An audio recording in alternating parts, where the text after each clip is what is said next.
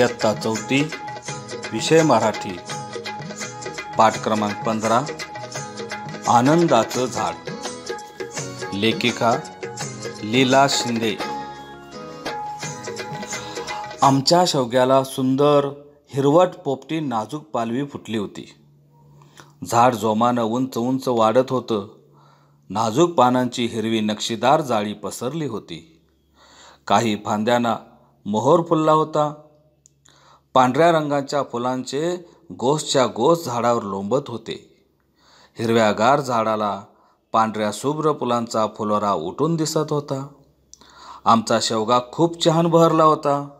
येणाऱ्या जाणाऱ्यांची नजर त्यावर पडल्याशिवाय राहत नव्हती. एके दिवशी आमच्या घरी शेजारच्या काकू आल्या आणि म्हणाल्या दारात कधी शेवगा लावू नये घरात भांडणं होतात. हे झाड तुम्ही तोडून टाका. इतकं सुंदर झाड आणि तोडून टाका. मला जरा त्या काकूंचा रागच आला. मी काही म्हणायच्या आतच आई म्हणाली झाडं ती सगळी सारखीच. उलट झाडं किती परोपकारी असतात. ती का बरं आपल्यात भांडणं लावतील? आपण माणसंच असा विचार करतो. झाडं तर आपल्याला फळं देतात फुलं देतात सावली देतात पक्ष्यांना घरं देतात आधार देतात. मी हे झाड लावलं ते जोपासण्यासाठी तोडण्यासाठी नाही. काकू म्हणाल्या अहो लोक शेंगा तोडून नेतील तेव्हा नाही का म्हणणार तुम्ही? आई म्हणाली नेऊ देत नेल्या तर. खाण्याचीच वस्तू ती. झाडांना त्या शेंगा फक्त आमच्यासाठीच नाही लागल्या.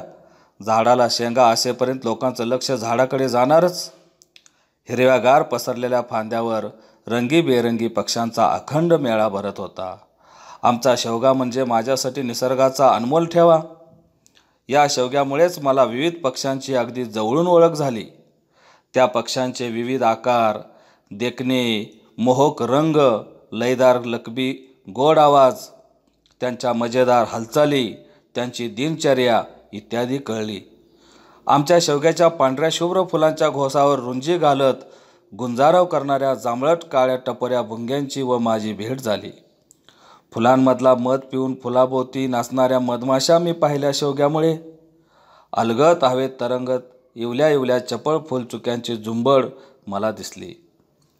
मदानं गच्च भरलेल्या फुलातून हवेत अलगद मध चोखण्याची कला पाहावी ती फुलचुक्यांची. इटुकला बोटभर फुलचुक्या असतो मात्र कसरतपटू. एरवी मला कधीच दिसला नसता फक्त आवाजच ऐकून होते. तो तांबट पक्षी मन मुरादपणे मान खालीवर करत अगदी एकाग्रतेनं तुक तुक आवाजाचा टणत्कार करताना मला चक्क दिसला.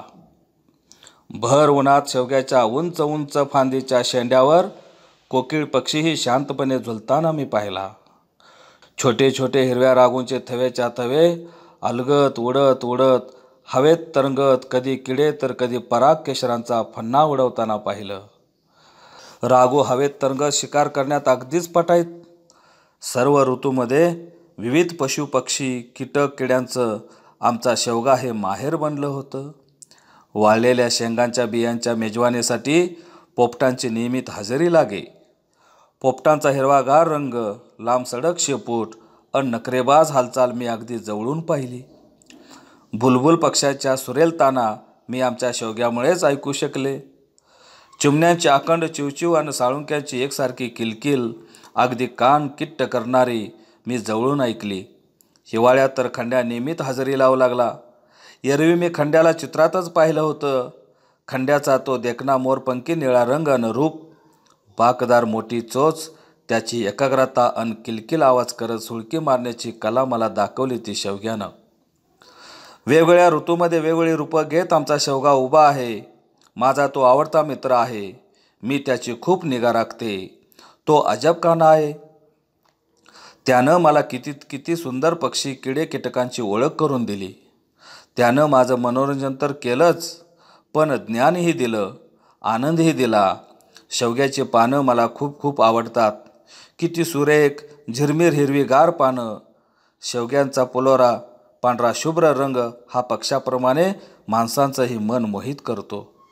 आपल्या हिरव्या रंगानं तो माझं मन प्रसन्न करतो. रोज नवीन उत्साह माझ्यात निर्माण करतो. त्याच्या अंगाखांद्यावर पक्ष्यांचा उत्साह बहरलेला असतो. हा पट्टा शेवगा आनंदानं झुलत डुलत त्यांना साथ घालत असतो. आणि या आनंद उत्सवात मीही सहभागी होते व नाचू लागते गाऊ लागते.